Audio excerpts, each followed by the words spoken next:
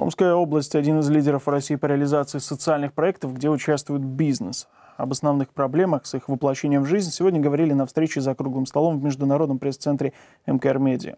Бизнесмены жалуются, продвигать свои проекты сложно, информационное поле занято, даже узнать о деятельности центров социальной реабилитации из открытых источников не так просто. Есть проблемы с кредитованием. Предприниматели надеются, что финансовая поддержка от государства станет ощутимее.